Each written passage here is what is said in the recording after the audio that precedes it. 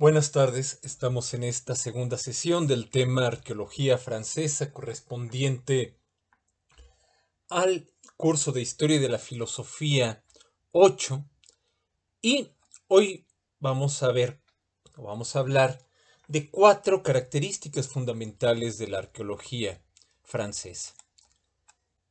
Esta idea de una arqueología que, como habíamos señalado en la sesión anterior, parte de la maraña, del caos del presente, para ir desmontando la apariencia de normalidad y la legalidad en la cual este presente parece sustentarse. Una investigación que, como señala Michel Foucault en su ensayo sobre qué es la ilustración, es arqueológica y no trascendental. Ahora bien, ustedes podrán decir o podrán señalar que si cabe hablar de arqueología, es para referirse a un periodo particular del pensamiento de Michel Foucault y que no podemos pensar en la arqueología, ya no digamos para pensar la totalidad de la obra de Michel Foucault, sino para pensar la filosofía francesa del siglo XX o de buena parte del siglo XX. Bien, lo que quisiera hacer hoy es sugerir razones por las cuales, en buena medida, el en el concepto de arqueología, podemos, si no reunir a toda la filosofía francesa del siglo XX, si es un concepto que nos sirve a la manera de cruce de caminos para entender no solamente los desarrollos de la filosofía francesa, que en lo que estamos viendo o lo que hemos mencionado hasta ahora, se refiere principalmente a Michel Foucault, sino en los conflictos, podríamos decir, los encontronazos con el planteamiento fenomenológico, la manera en la cual hubo y hay posiciones que no solamente muestran un rechazo fuerte hacia el movimiento fenomenológico, sino que hay también quienes retomaron la fenomenología, sobre todo Maurice Merleau-Ponty, Jacques Derrida, el fenomenólogo belga Marc Richir, donde la relación entre fenomenología y estructuralismo es sumamente difícil, no es algo que uno pueda decir fácilmente en dónde se encuentran situados y también nos va a permitir entender cómo y por qué hay de repente ciertas posiciones, por ejemplo, el espinosismo, que mucho más que una interpretación histórica de Spinoza, en el pensamiento francés del siglo XX se convirtieron en auténticos arietes, sobre todo en el caso de pensadores como Luis Althusser, Pierre Macherey, Martial Gerult. Pero vamos a, ver estas características de la arqueología. Son cuatro características que menciona Leonard Lawlor en su libro Thinking Through French Philosophy, pero que aquí vamos a tratar de ampliar y ver con, mayor detalle. Primera característica. La investigación del pasado tiene como motivo fundamental la transformación del presente. Ese es el punto de una arqueología, la transformación del presente. Cuando lo formulamos en estos términos, parece ser que la investigación arqueológica es una o se encuentra en el mismo terreno o se encuentra en el mismo frente que la teoría crítica de la sociedad en Alemania, en la medida en la cual querrían mostrar el carácter violento, querrían mostrar el carácter irracional de ciertas instituciones, de ciertas formas de vida contemporáneas. Pero hay una diferencia fundamental. ¿En qué consiste esa diferencia fundamental? Que en el caso de la teoría crítica, la teoría así denominada Escuela de Frankfurt, la transformación del presente tiene como eje fundamental la convicción de que la experiencia, la experiencia subjetiva, puede ser de otra manera.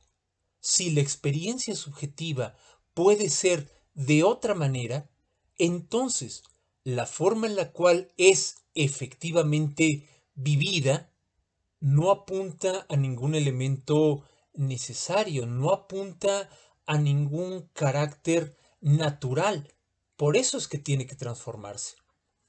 En el caso de la arqueología francesa, la transformación del presente está motivada no por la posibilidad de transformar o la necesidad de transformar nuestra propia experiencia subjetiva, sino que tiene como eje fundamental mostrar cómo el presente no puede extraer su legitimidad del pasado. No hay una línea de continuidad, no hay un desarrollo progresivo que haga del presente la consecuencia necesaria del pasado. Esto no significa que cada uno de nosotros o nosotros como un colectivo pueda inventarse de la noche a la mañana. No es que uno pueda describirse en los términos que se le antojan. Porque la convicción de la arqueología francesa es que hay una necesidad en el presente. El presente responde a una necesidad. Pero la necesidad que constituye el presente, la necesidad que articula el presente, no es el efecto causado por los acontecimientos del pasado de una manera lineal. No hay una relación simple, no hay una relación lineal de causa y efecto. Lo que quiere hacer la arqueología es, en esa medida, investigar en qué medida está hecho, cuáles son las estructuras que necesariamente le dan al presente la forma que tiene. He ahí la doble etimología, o puede verse esta característica en la doble etimología del término arqueología. Por un lado, la arqueología se pregunta por un arqué, por un principio, por un origen. Y, por otro lado, se cuestiona por el arcón, el mandato, el principio a partir de, del cual se da el orden. En su conjunto, como arqué y como arcón, lo que trata de hacer, o lo que tratará de hacer la arqueología francesa, es mostrar que el origen, arqué, del mandato, el principio a partir del cual se instituye el orden, el arcón no puede pensarse como una sucesión lineal de acontecimientos que progresivamente se van desarrollando a la manera de un organismo que va expandiendo, que va desenvolviendo características que ya tiene en su propio seno. Como señalará Leonard Lollor en la página 25 de este texto, pensando a través de la filosofía francesa, la arqueología designa el pasado, el orden secuencial, y sin embargo un pasado que aún manda en el presente. En la medida en la cual seamos capaces de entender ese principio, ese origen que ha constituido el mandato, es que entonces podemos transformar el presente. Vean, no se trata de transformar la propia experiencia subjetiva, no se trata de una transformación de la mirada, como sí puede ocurrir o si lo podemos encontrar en el caso de Benjamin, en el caso de Adorno, de Max Horkheimer. Lo que se trata es de transformar el presente a partir de una transformación de la narrativa que nos explique en qué consiste la necesidad del presente. Pasamos ahora a la segunda característica. La enuncio. El pasado al que uno regresa es siempre incompleto. Pero incompleto, ¿por qué? incompleto no porque no se tengan los elementos, los hechos para reconstruirlo. No se trata de que digamos, caray, nos gustaría tener los archivos de o, archivos más exhaustivos sobre la Revolución Mexicana o archivos más completos sobre lo ocurrido en el 68 y así poder fincar debidamente responsabilidades. No, cuando la arqueología señala que el pasado es siempre incompleto, no está refiriéndose a una falta de elementos, a una falta de evidencia. Lo que señala es que lo que está incompleto, lo que está ausente, es la narrativa que le da coherencia y unidad a los hechos del pasado. El historiador y filósofo inglés Michael Oshut puede servirnos como recurso para entender este segundo punto. Sí, es, es, curioso. Hubo un tiempo en el que Europa, el pensamiento europeo, se expresó, también en inglés. Al tratar de esclarecer en qué consiste el pasado que le preocupa al historiador, Michael Oshut señala, este es un pasaje de su libro sobre la historia y otros ensayos, cito, se trata de un pasado que no ha sobrevivido. Es más, se trata de un pasado que jamás podría haber sobrevivido como tal, pues al no estar compuesto de objetos de otras épocas, nunca fue en sí mismo presente. No es posible encontrarlo, desenterrarlo, ni recuperarlo. Solo es posible inferirlo. Fin de la cita. Lo que esto quiere decir, y es la razón por la cual recurro a un historiador inglés para hablar de arqueología francesa, es que cada periodo histórico está tejido, compuesto por un orden que pasa inadvertido para quienes viven en él. ¿Por qué? Pues porque viven entregados a, a las exigencias de su presente práctico. Y cuando cobran conciencia de estas exigencias, no solo las hacen inteligibles por medio de una narrativa tomada de su mismo presente práctico, sino que proyectan esa misma narrativa sobre otros periodos. Por ejemplo, nosotros suponemos que las preguntas concernientes a ¿qué significa el trabajo? ¿Qué papel desempeña la diversión y los deportes en nuestras sociedades? ¿Cómo construir relaciones solidarias y duraderas? Preguntas de ese tipo suponemos que son las preguntas cruciales porque esas son las inquietudes que no son urgentes. En eso consiste esta noción de un presente práctico. El presente práctico se refiere a las tareas inmediatas y urgentes que se les presentan a los seres humanos en un momento y en un lugar determinados. Y esa labor ese tipo de preguntas, qué significa el trabajo, qué papel desempeñan los deportes en nuestras sociedades, cómo construir relaciones solidarias y duraderas, no tiene nada de malo, nada de incorrecto. El problema es cuando tomamos esa narrativa no solo como el marco verdadero, válido y normal para explicarnos a nosotros mismos, sino como el marco para explicar otros momentos históricos y además explicar con base en él la línea de continuidad que llega hasta nosotros.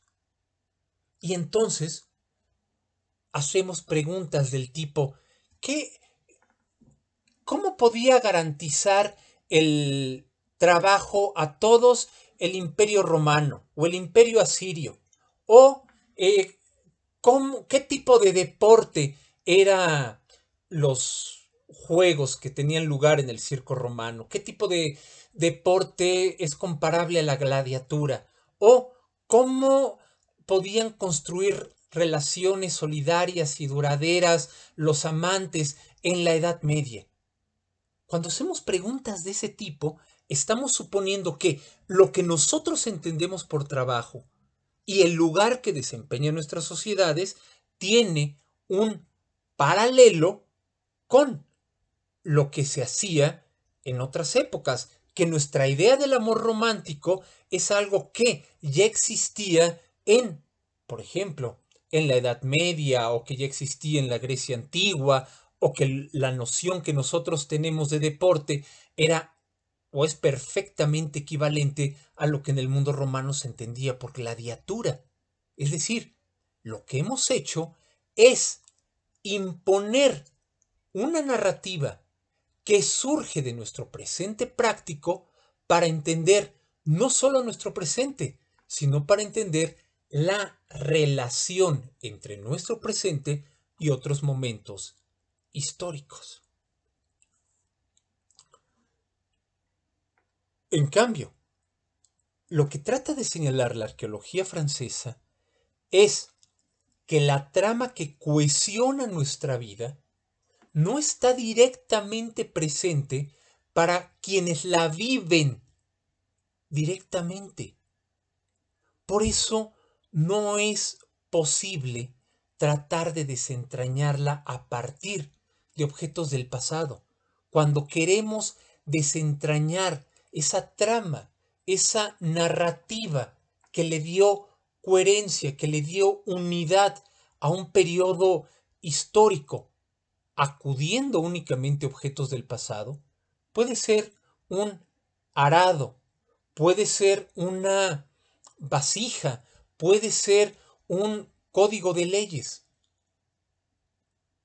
Nosotros ¿Qué nos permiten decir esos objetos? Pues que araban la tierra o que había un gremio de alfareros que fabricaba objetos o que hay cierta idea de derecho.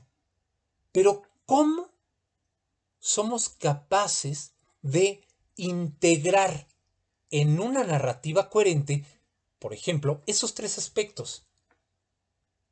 Que hubiera alfareros que hubiera una noción de derecho, que hubiera un grupo dedicado al cultivo, que hubiera campesinos. ¿Cuál es la narrativa que ataba y que le daba coherencia y unidad a esos elementos? Eso es lo que no está presente. Eso es lo que no podemos reconstruir a partir de los meros vestigios del pasado ya sea que se refieran a objetos, ya sea que se refieran a textos o a documentos.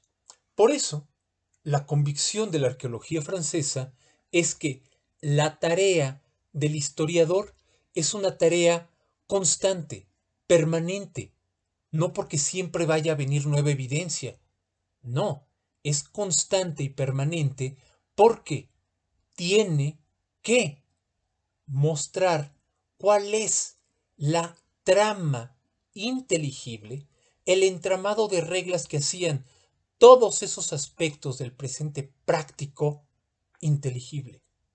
La idea, vean cómo en esa medida la labor del historiador, aunque se refiera al pasado, afecta al presente.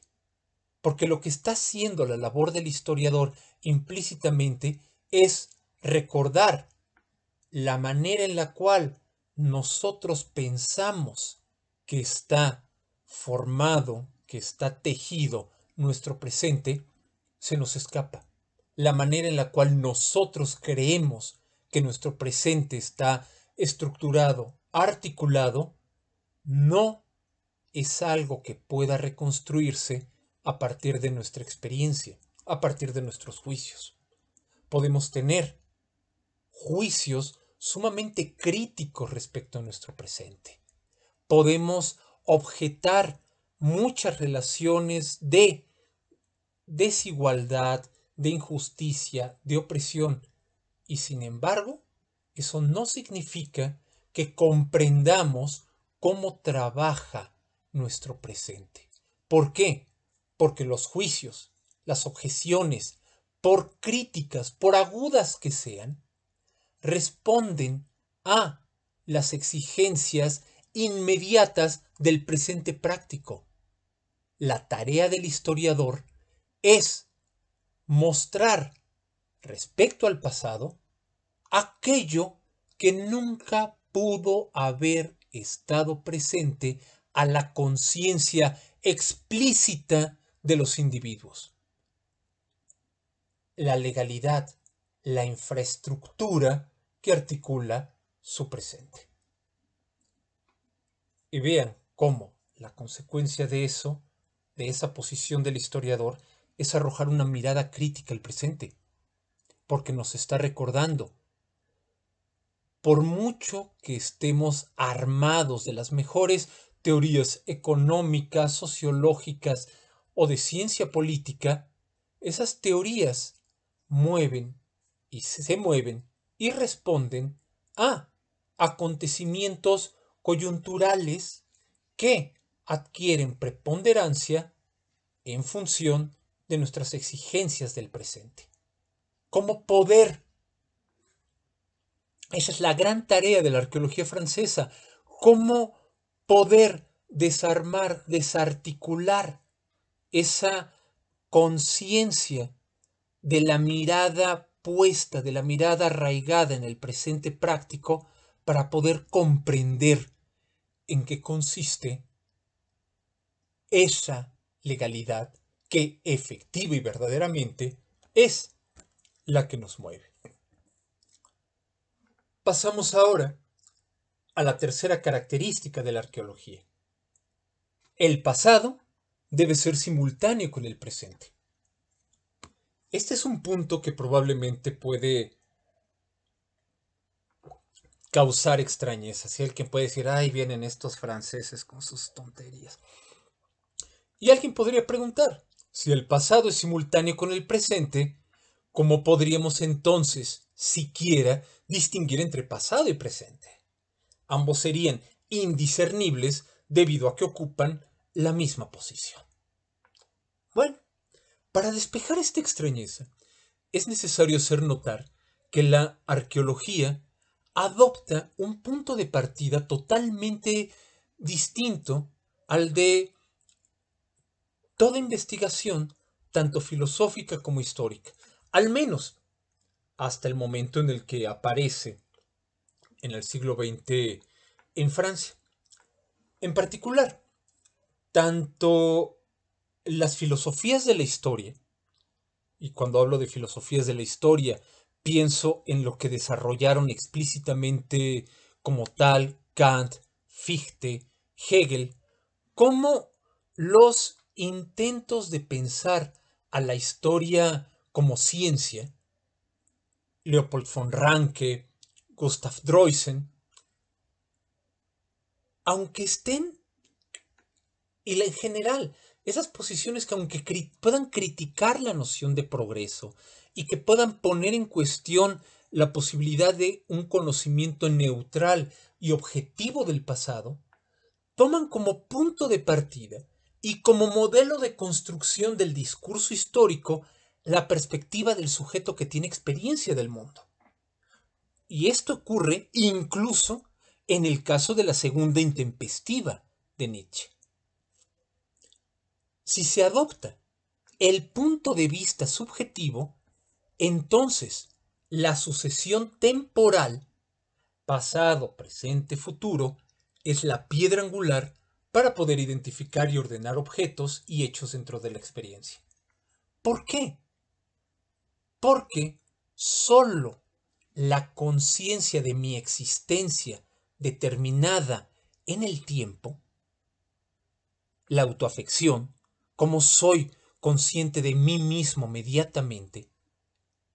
Por ejemplo, cuando me refiero a la, autoafección, caigo en la cuenta de mí mismo en tanto que ahorita por ejemplo, o ahora en este momento, estoy viendo pasar un águila, o en la medida en la cual recuerdo una sensación placentera que tuve en la mañana.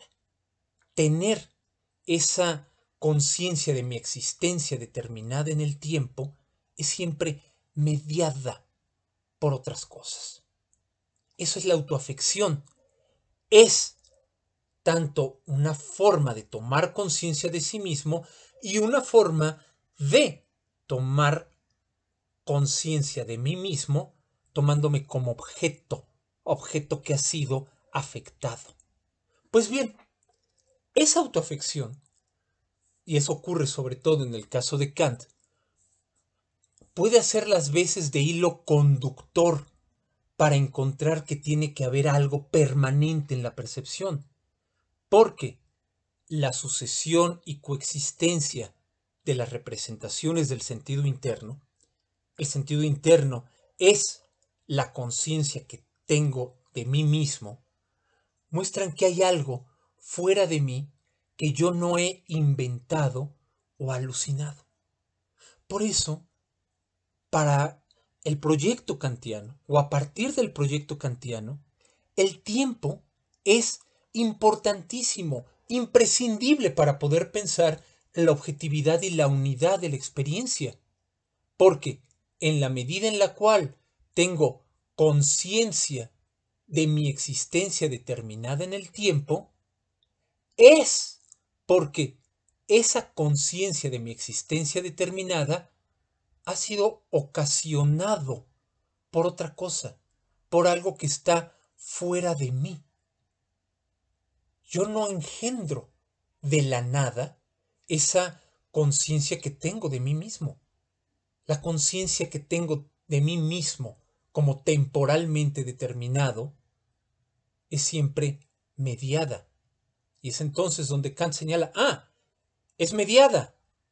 No pudo haberse generado por sí sola. Bien, entonces tiene que haber algo, tiene que haber un mundo que haya generado esa afección y haya generado inmediatamente la conciencia de mí mismo. Toma el idealismo subjetivo. ¿Cómo que no hay una prueba del mundo externo? Si tengo conciencia de mí mismo, de mi existencia temporalmente determinada, es porque hay un mundo externo.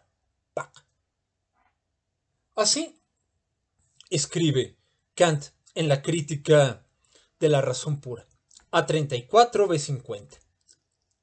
Bien, el tiempo es la condición formal a priori de todos los fenómenos. El espacio, en cuanto forma pura de toda intuición externa, se refiere sólo como condición a priori a los fenómenos externos. Por el contrario, toda representación, tenga o no por objeto cosas externas, corresponde en sí misma al estado interno. Ahora bien, este se halla bajo la condición formal de la intuición interna y consiguientemente pertenece al tiempo. En consecuencia, el tiempo constituye una condición a priori de todos los fenómenos en general. Fin de la cita. Vean cómo en esa medida hay una prioridad del tiempo sobre el espacio mientras este último solo vale para algo externo y la oposición que ocupa ese algo externo no es necesaria, el tiempo vale para todo tipo de representaciones, vengan de la percepción, vengan de la imaginación, vengan de la memoria, y sujetan a las representaciones a un orden sucesivo, lineal. En esta secuencia cada momento condiciona al momento que le sigue y en esa medida sus efectos se mantienen. Pero una vez que, por decirlo así, le ha abierto la puerta, le ha abierto paso al momento nuevo, el momento precedente queda definitivamente atrás.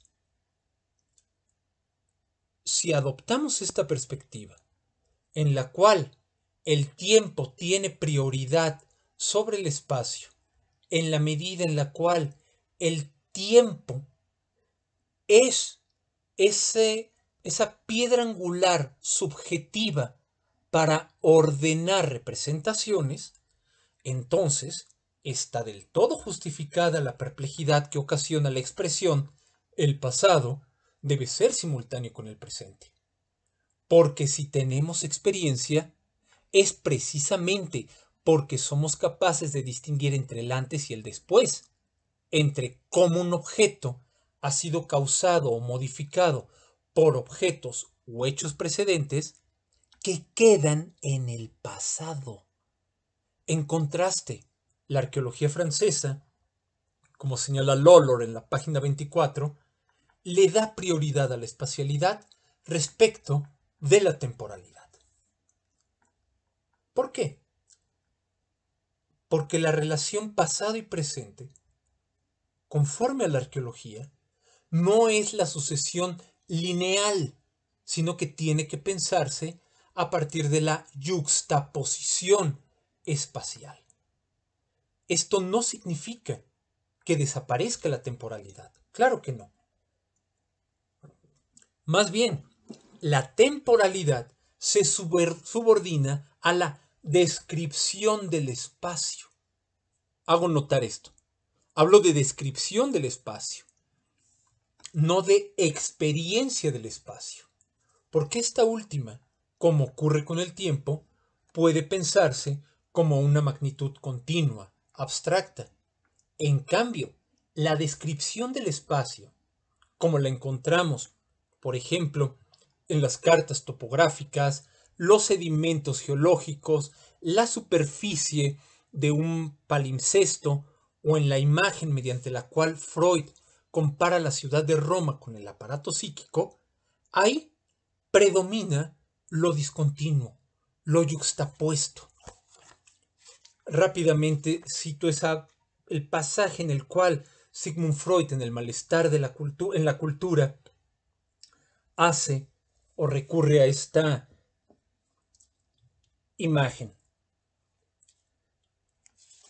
Supongamos ahora, a manera de fantasía, que Roma no fuese un lugar de habitación humana, sino un ente psíquico con un pasado no menos rico y prolongado, en el cual no hubiera desaparecido nada de lo que alguna vez existió, y donde junto a la última fase evolutiva subsistieran todas las anteriores.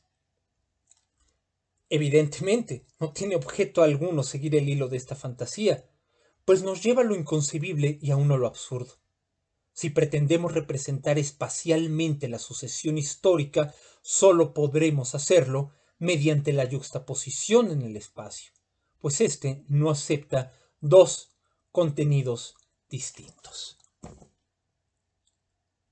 Es decir, en esta idea de espacialidad, en el cual los elementos se encuentran yuxtapuestos, no solo lo, lo, visible, la escritura, el monumento, las montañas, no es necesariamente lo más reciente, sino que lo no visible no es lo que ha quedado definitivamente atrás, pues los desplazamientos, las nuevas construcciones, lo pueden hacer visible de nuevo y al hacerlo, reconfigurar por completo el terreno. Esta idea trastoca la relación entre tiempo y espacio.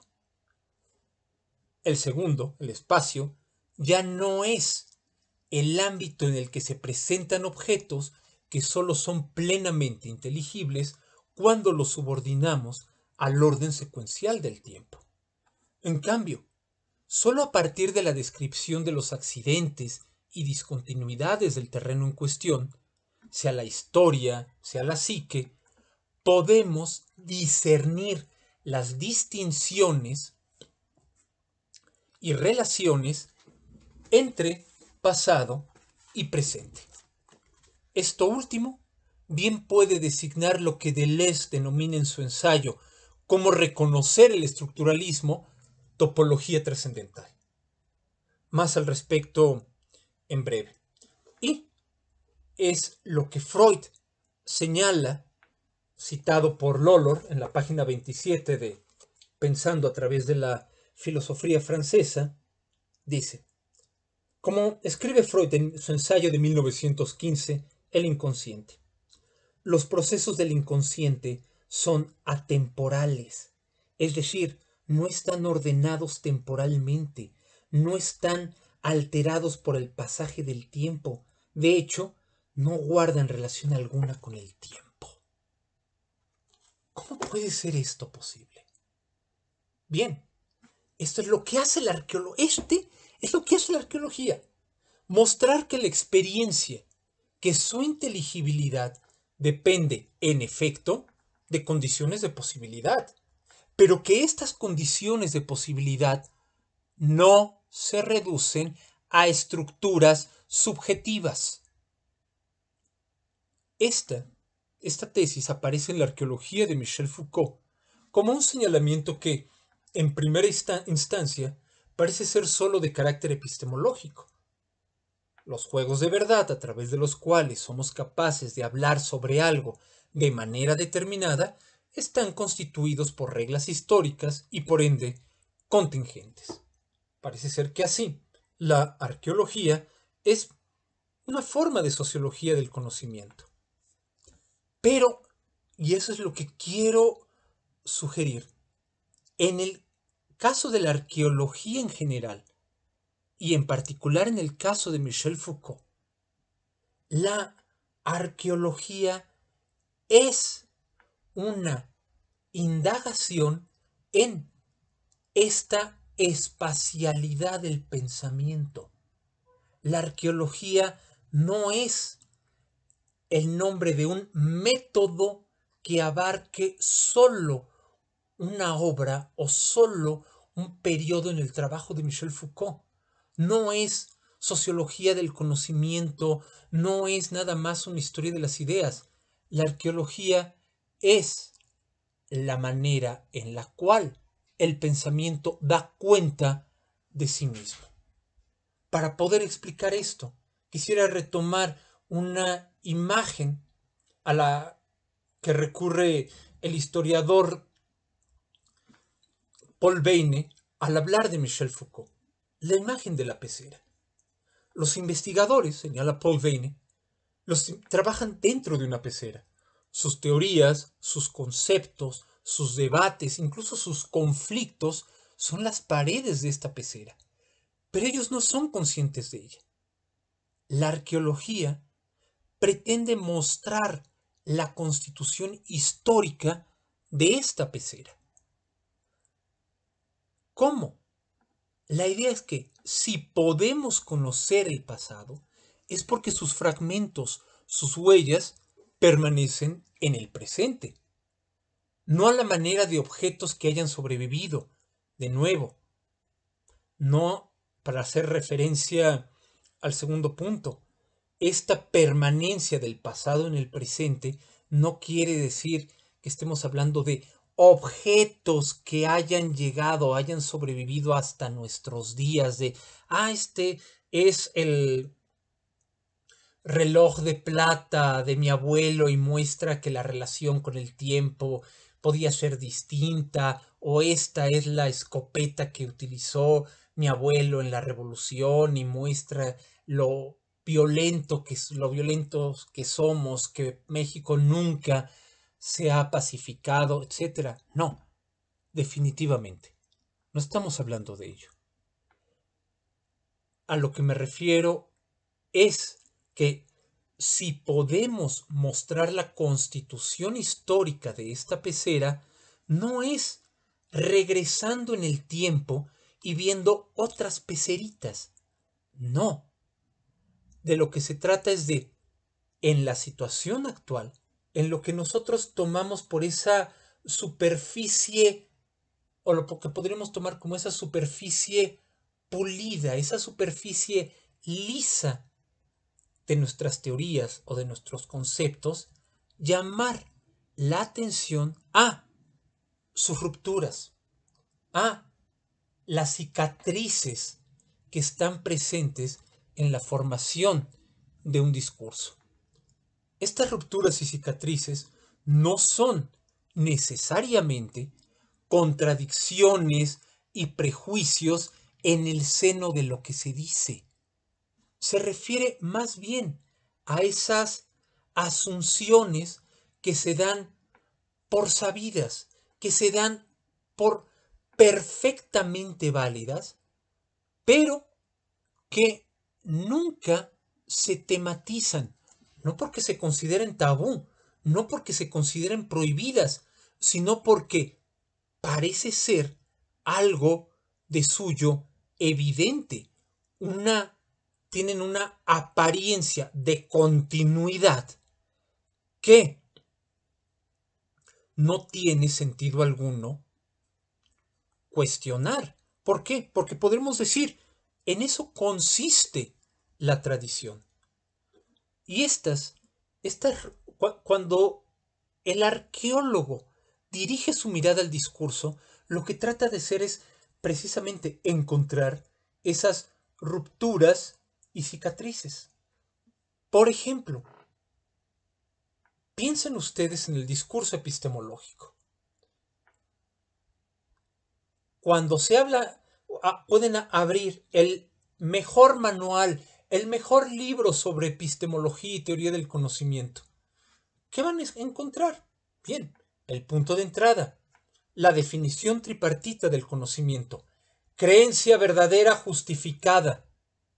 Bien, y pueden encontrar objeciones a la idea de entender al conocimiento como creencia verdadera justificada, intentos de definir o de defender la idea de conocimiento como creencia verdadera justificada, nociones más amplias de creencia, modos distintos de entender esos tres elementos. Pero a ver, muéstrenme una, un manual de teoría del conocimiento o un libro de teoría del conocimiento que explique por qué partir de la creencia. Planteen esto en un grupo de epistemólogos y, van a ver cómo se les van a quedar viendo con el sentido de, pues este, e, e, e, este tipo que, pues de qué otra cosa vamos a estar hablando que no sea la creencia, está ya dada como algo que constituye la materia, no en el sentido de asignatura, en el sentido de la substancia, de teoría del conocimiento. ¿Qué otra cosa puede ser?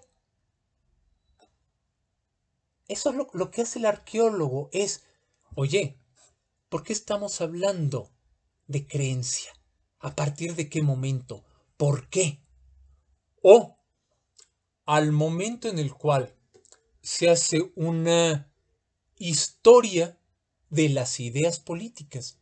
Vean, cuando hacemos cuando se hace historia de las ideas políticas, siempre, aunque le dediquen un parrafito, miren así, pequeñito, ahí está, la ciudad de Dios de San Agustín. ¿Por qué?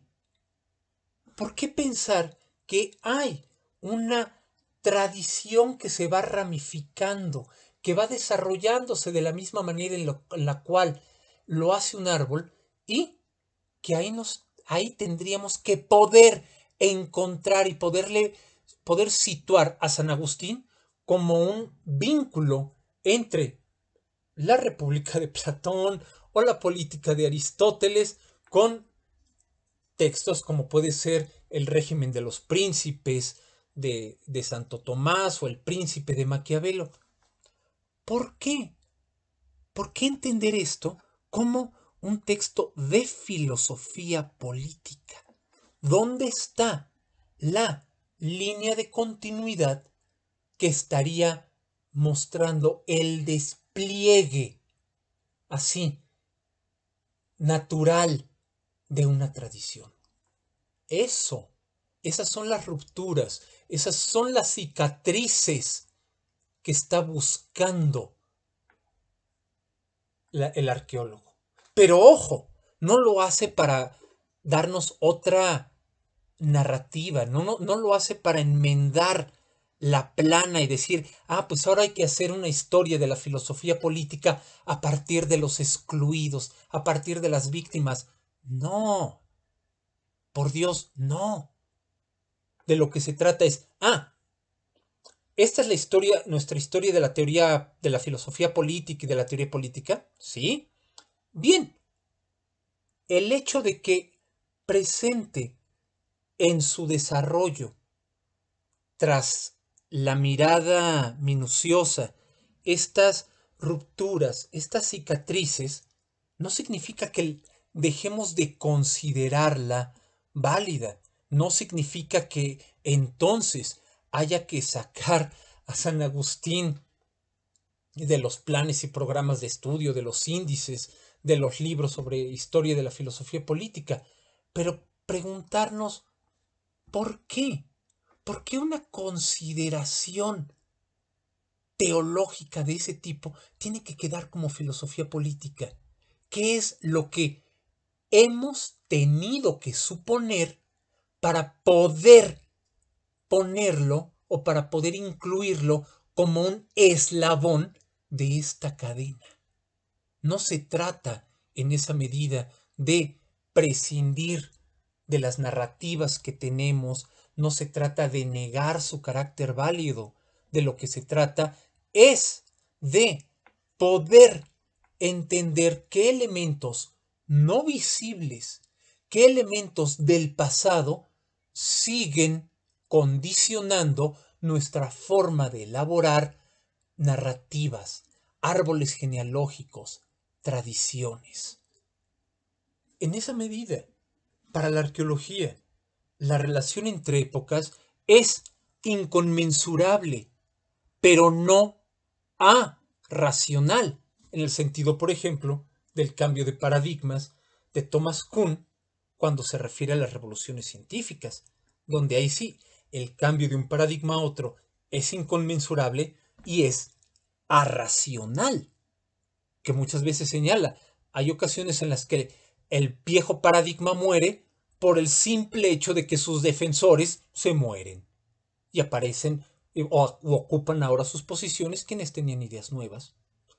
Para la arqueología, la relación entre épocas no es un desarrollo fluido, orgánico, es inconmensurable, pero no es irracional. Simplemente que su racionalidad no puede extraerse no depende de la actividad del sujeto. Y eso nos lleva al cuarto, a la cuarta y última característica de la arqueología francesa, que es el desplazamiento del sujeto consciente, no sólo como responsable de la producción de inteligibilidad, sino también como punto de partida. Bien, si nos quedamos solamente con la primera parte de la frase, el hay un desplazamiento del sujeto consciente no como responsable de la producción de inteligibilidad, entonces la arqueología francesa comparte o sería o estaría en la misma posición que la fenomenología trascendental post-husserliana. Hablo de Heidegger, hablo de Jean-Paul Sartre, hablo de Emmanuel Levinas. ¿Por qué? Porque ellos, así como el caso de la arqueología francesa, donde creo que podríamos situar Maurice Merleau-Ponty, al menos él pone los cimientos, a Michel Foucault Jacques Derrida, Gilles Deleuze, coinciden en esto, en el que el desplazamiento del sujeto consciente como responsable de la producción de inteligibilidad. No es la subjetividad consciente quien produce la inteligibilidad. Pero aquí quiero que vean una diferencia específica de la arqueología francesa. Porque mientras la fenomenología, Heidegger, Sartre, Levinas, señalan, el sujeto no produce la inteligibilidad. Pero para llegar a esa conclusión hay que comenzar, hay que tomar como hilo conductor a la actividad del sujeto consciente. Cuando lo hacemos, vamos a desembocar en un punto en el cual la actividad no es producida por el sujeto. Pero lo que hace la arqueología francesa es decir, el sujeto consciente no solo no produce la inteligibilidad, sino que tampoco nos sirve como punto de partida. Ese es el agotamiento del sujeto al que se refiere Foucault al final de las palabras y las cosas. El cogito está exhausto. Pero no solo porque ya no pueda producir inteligibilidad, tampoco nos sirve de punto de entrada, de vía de acceso para plantear cómo se produce la inteligibilidad. Este es el punto en el cual hay un encuentro entre la arqueología francesa y las posiciones estructuralistas. Pero habrá al mismo tiempo una diferencia, porque no se trata de simplemente buscar cuáles son esas estructuras no subjetivas, como puede ser el caso del inconsciente, Jacques Lacan, de las estructuras elementales del parentesco, en el caso de Levi-Strauss, del código de la lengua, en el caso de Ferdinand de Saussure, y ya, todos felices y contentos. No, de lo que se trata es de buscar nuevas estructuras, no porque estemos buscando nuevos trascendentales. Recuerden lo que, por eso siempre hay que tener firme ese artículo de Foucault que es la ilustración. Mi investigación es arqueológica, no trascendental. Pero para ver esto, quisiera tomar como punto de arranque el ensayo de Maurice Merleau-Ponty sobre la obra de Edmund Husserl, El filósofo y su sombra donde Merleau-Ponty ya se preguntaba, ¿cómo es que esta infraestructura, secreto de secretos, más allá de nuestras tesis y de nuestra teoría, podría a su vez reposar sobre los actos de la conciencia absoluta? El descenso al dominio de nuestra arqueología deja intactos nuestros elementos de análisis. Esa cita procede de signos. ¿Por qué escribe esto Merleau-Ponty? Porque Merleau-Ponty es conoce la obra o tras haber estudiado los archivos, los manuscritos que dejó el Husserl Maduro, se percata de que, el, primero en hablar en la filosofía moderna, contemporánea de arqueología es Husserl. Para Husserl, la arqueología es esta investigación regresiva que pretende poner al descubierto cómo se ha sedimentado el sentido. Ahí, ahí hay un punto de, de inflexión importantísimo para esa filosofía francesa de la primera mitad del siglo XX que se volcó a la fenomenología. ¿Por qué? Porque parece ser que el planteamiento husserliano el planteamiento fenomenológico, en la medida en la cual parte de la conciencia para interrogar cómo produce sus contenidos, cuál es el movimiento a lo largo del cual la conciencia puede referirse a algo, va a encontrar algo que no es conciencia. Va a encontrar un punto en el cual lo que encuentra es un flujo un torrente inagotable en constante movimiento de referencia a. Es el punto en el cual numerosos fenomenólogos, aquí Merleau-Ponty, digamos, es el que pone la primera piedra, pero otros como Jacques Derrida o Marc Richir, van a preguntarse, ¿y si la fenomenología tuviera que desembocar en un punto en el que ya no cabe más, ni siquiera metodológicamente hablando, moverse en términos de la conciencia? Por eso la relación con otras posiciones como el estructuralismo, en el caso de la arqueología francesa, es tan difícil. No es simplemente, ay, muera la fenomenología, venga el estructuralismo. No. Es justamente estar en una encrucijada en la cual se preguntan si la reflexión no nos, no nos lleva a la conciencia, entonces ¿sobre qué está montada la reflexión? Cuando la reflexión cuestiona sus propias condiciones de posibilidad, cuando quiere dar cuenta de la validez de la mirada del espectador, no solo encuentra que las reglas y categorías básicas que componen el pensamiento no han sido instituidas por una decisión consciente.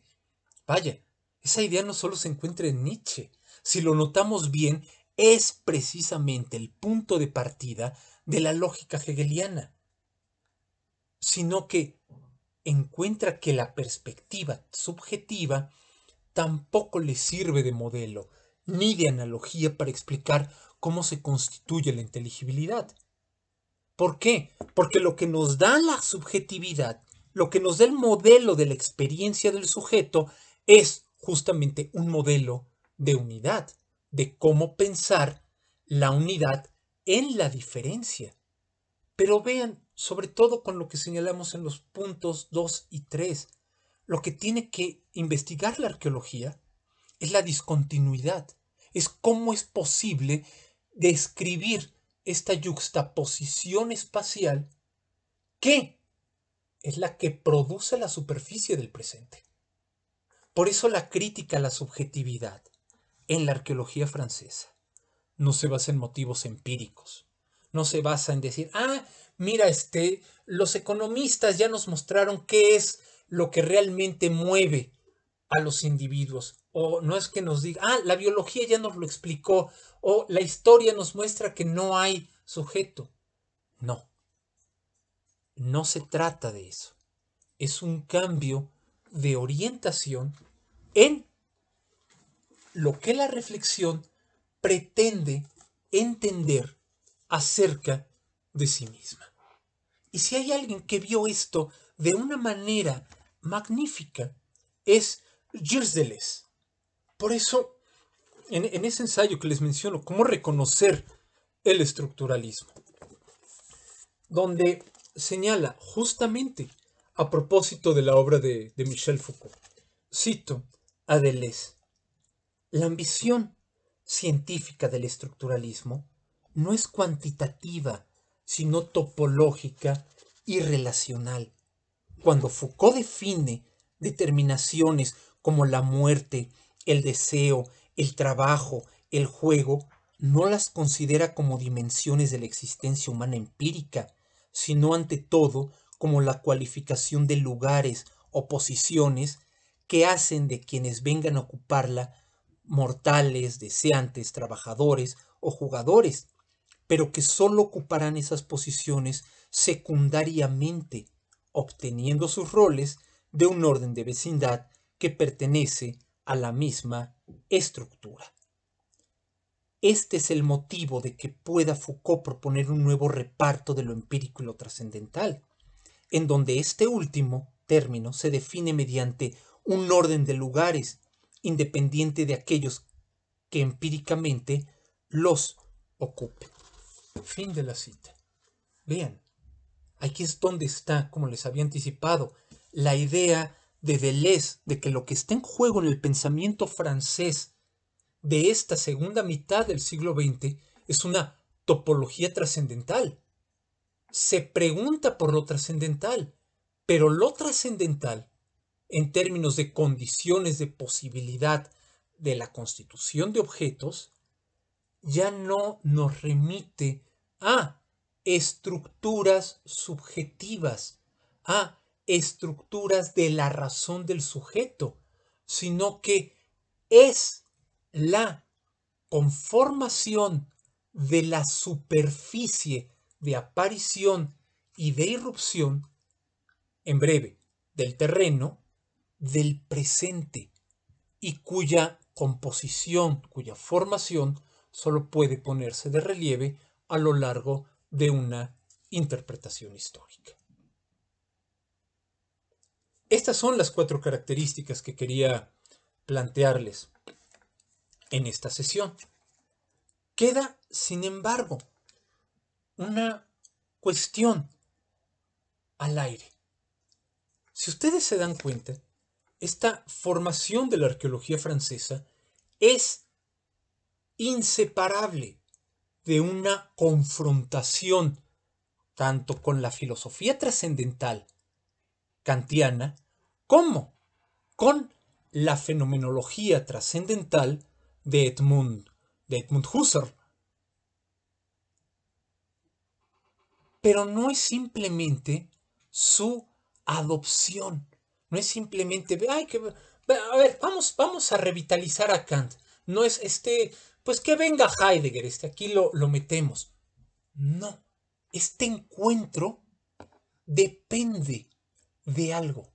Hay algo que está formando y motivando este conjunto de características, este conjunto de actitudes de la fenomenología francesa.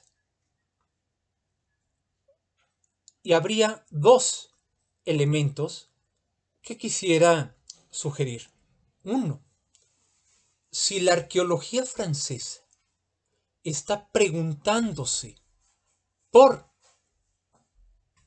esta manera en la cual el pasado, siempre incompleto, sigue formando el presente, sigue afectando el presente, es porque ha aprendido a ver en la historia no solamente el recuento de datos el recuento de relaciones causales. Ha aprendido a ver en la historia algo más. Ha aprendido a ver la historia como la constitución de la efectividad, de la realidad efectiva del presente. Y dos, hay un elemento que es imprescindible en esta historia, en este recuento de lo que hace la narrativa francesa. La manera en la cual Foucault, Deleuze y Derrida van a reaccionar, van a responder a la renovación, al resurgimiento del pensamiento hegeliano. Eso quiere decir que para poder seguir con la arqueología francesa vamos a tener que hacer un breve rodeo por la epistemología francesa, Cavaillé, Bachelard, Canguilhem, y, por, por un lado, y por otro lado, la reacción a un libro de Jean Hippolyte, Lógica y Existencia. E, esos antecedentes serán nuestro siguiente tema. Por el momento es todo. Muchas gracias.